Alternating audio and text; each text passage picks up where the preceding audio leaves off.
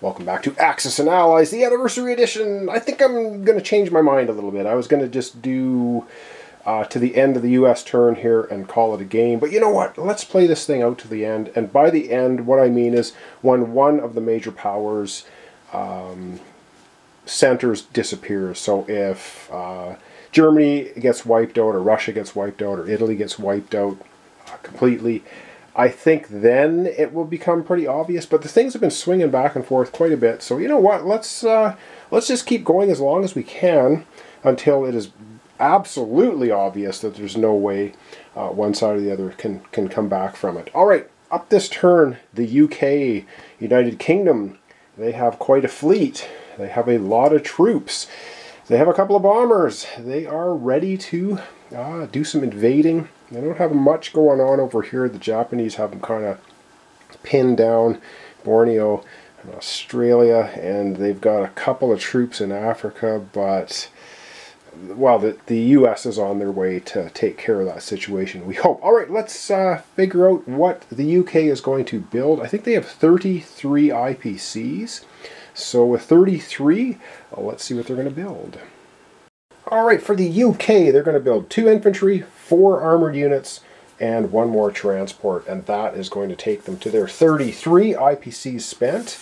And then tomorrow, we're going to be back to Italy. All right, let's see what the UK is going to do as far as attacks go.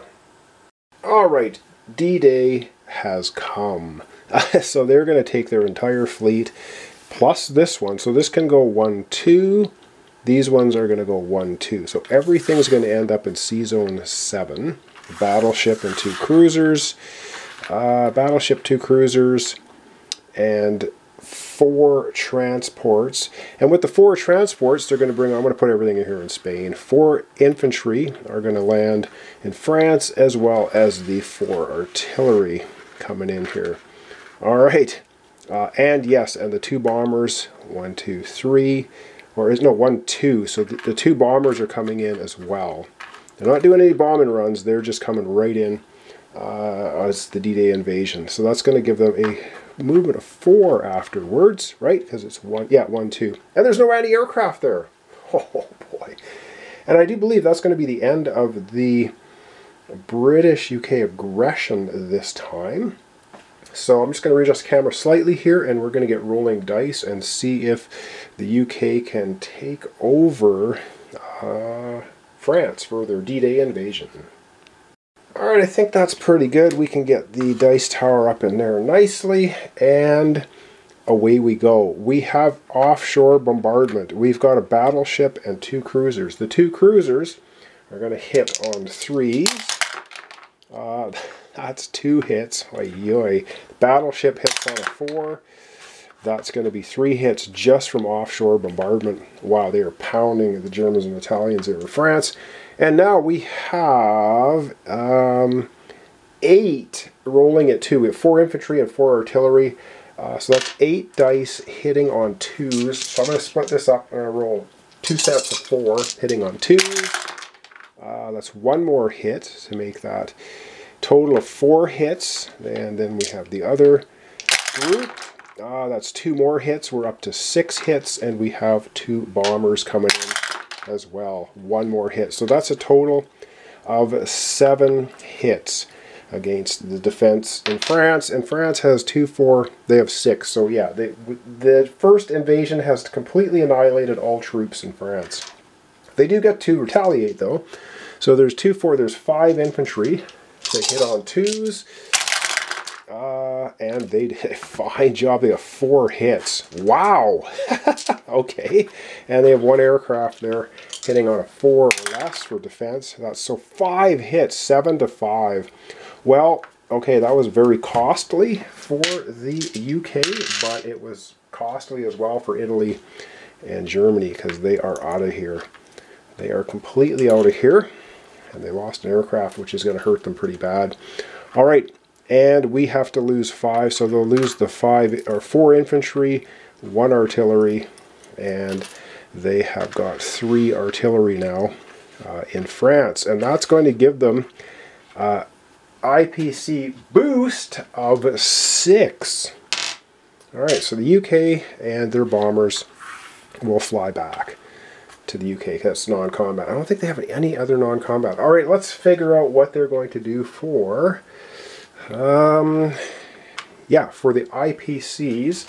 So like I said, that's going to be six up for the UK and six down for Germany. Six down for Germany, 23. So one, two, three, four. They're down to 17 IPCs for Germany and 36 up to 42 for the UK. Wow! Tying the US now at 42 IPCs. Holy moly. Okay, uh, and now it is time to go ahead and put our troops down. So in the UK, they got a couple of infantry coming in here.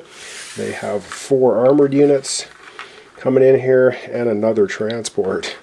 So now they got five transports, two cruisers, a battleship, and they've got three artillery brigades down here in France. Those are short-lived, I'm sure. However, not a bad, not a bad move for the UK. Okay, that's going to be it for the UK. I think I was very quick, but uh, I'm just doing one country an episode. So they're just gearing up to keep hammering on Germany uh, on the coast there. So they will be collecting there are 42 IPCs. Wow. All right, let's zoom the camera out and we're going to be wrapping up our episode for today. All right, well, it was a very costly landing in France, but the UK has built up a game. We got the US with, uh, they got four transports and a whole pile of troops as well, possibly coming over to support that uh, D-Day landing. So we'll see what happens in future episodes.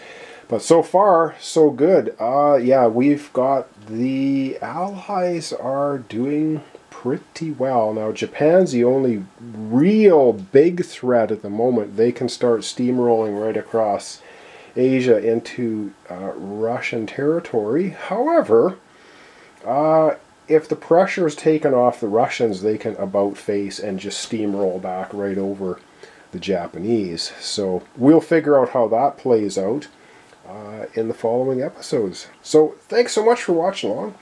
Thanks for your comments, subscriptions, likes. Really helps out my channel. Really appreciate it. This is the Axis and Allies Anniversary Edition game. I really, really do like this version. Up next, we have Italy. And Italy uh, has got to help out Germany. Uh, looks like their their bid to take over Africa is a little bit in trouble the US and the UK holding out here pretty good. So we'll see what happens there. So thanks so much for watching along, everyone. We'll see you tomorrow for the continuation, and it will be Italy's turn.